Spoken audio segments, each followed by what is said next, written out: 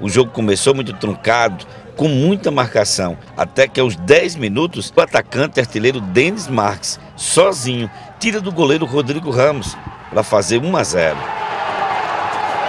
O Sampaio queria esboçar uma reação, mas não conseguia.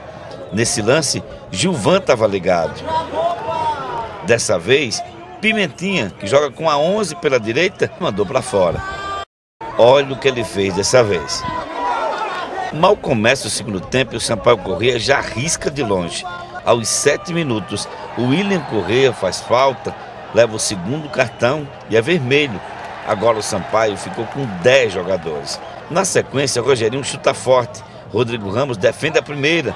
Sobra para Denis Marques, sozinho. Mas Rodrigo Ramos faz a segunda grande defesa. João Henrique, aos 29 minutos, manda essa para fora e perde a chance do segundo gol.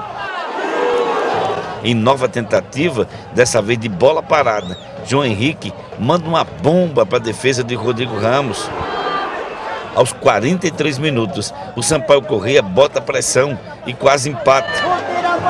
Final de jogo, ABC 1, Sampaio Correia 0. O importante é a gente estar tá no G4. A gente quer terminar a Copa do Mundo, tem mais cinco rodadas para a gente brigar pelo G4.